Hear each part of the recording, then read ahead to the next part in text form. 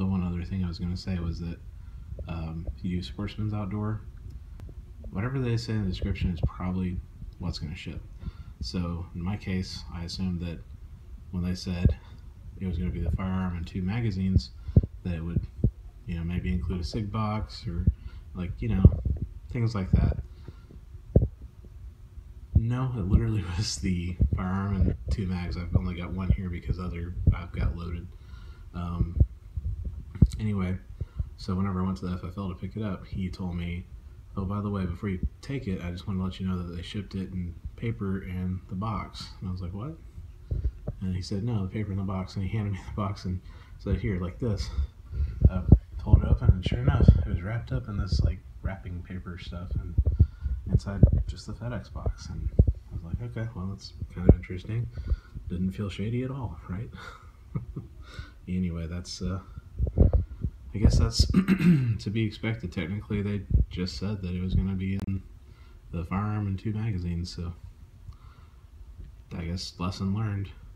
If you want to find out, just check first. Maybe call them because I had emailed them a question about this last week and nobody ever got back to me on their side. So they may have just been pretty busy on with everything. And then they said some disclaimer on their thing saying it may take longer than the normal to ship things.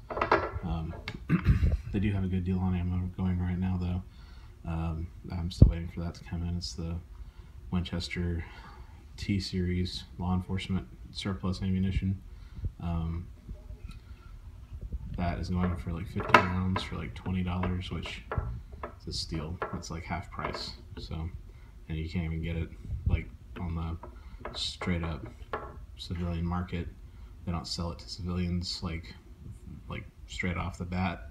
The way you civilians get it is by uh, doing it like police surplus like this. So anyway, it's just a follow-up video here.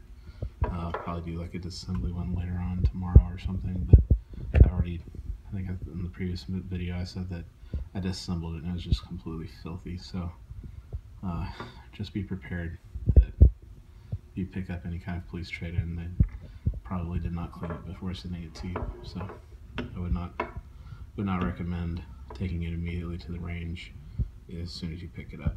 So anyway, that is that. So have a good one.